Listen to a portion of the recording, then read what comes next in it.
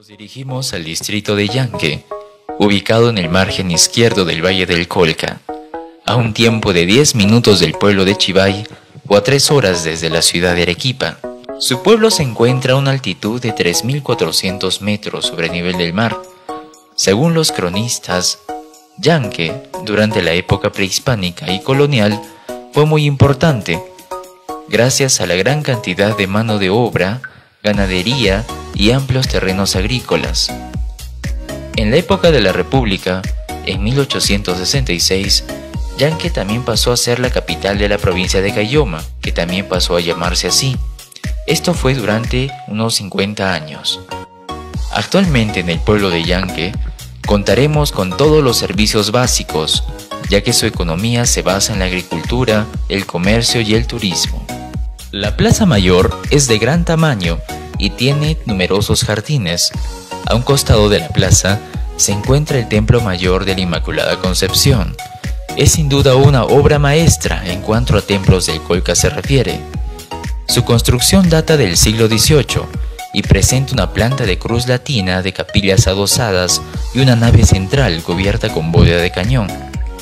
La portada lateral, siendo la principal del templo, Posee una fachada que conjuga dos estilos, renacentista y barroco, y goza de elementos decorativos inéditos de ornamentación mestiza.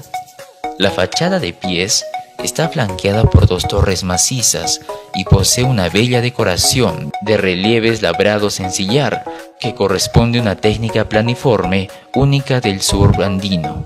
El interior del templo muestra un estilo neoclásico con varios retablos de estuco de muy buena calidad y una buena distribución de proporciones.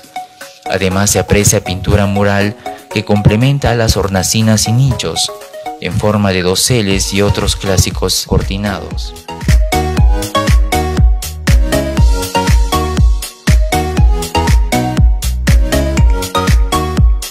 Al otro costado de la Plaza Mayor se encuentra el Museo de Yanque, en cuyas salas podremos ver diferentes muestras de información del Valle del Colca, como una representación en miniatura de todos los templos del valle, todos tallados en sillar, un ambiente con una réplica de la niña Juanita, ofrenda hallada en la cima del Nevado Ampato, además de cerámica, una mesa ritual para el pago a la tierra, información del río Colca, geografía y sus recursos naturales, historia de las minas de Cayoma y los productos que se cosechan en el campo.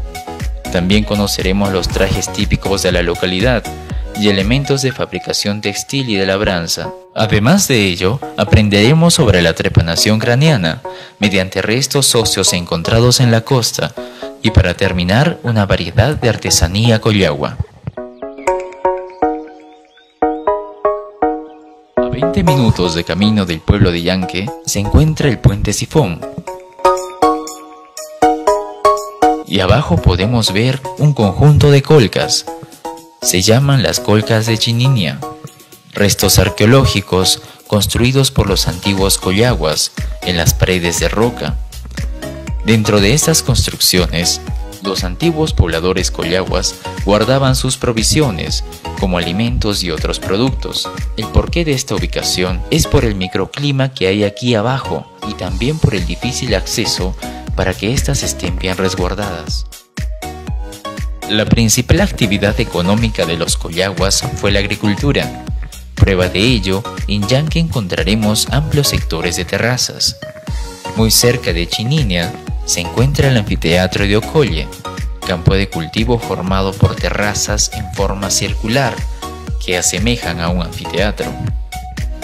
Estas terrazas fueron la solución más adecuada para vencer las condiciones geográficas del lugar, como la pendiente, para controlar los procesos erosivos formando suelos fértiles y optimizar el manejo del agua.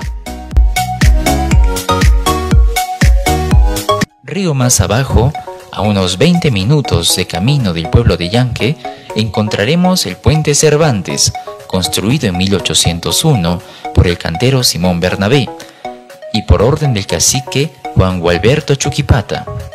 Se dice que el cura de Yanque destinó para este puente unos 4.000 ladrillos que habían sido hechos para la iglesia, pero que habían salido desiguales.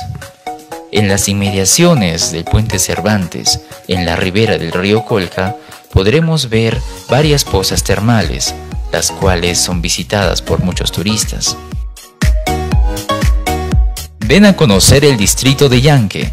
Te invitan Autocolca y el alcalde de la Municipalidad Provincial de Caylloma, ingeniero Álvaro Cáceres Lica.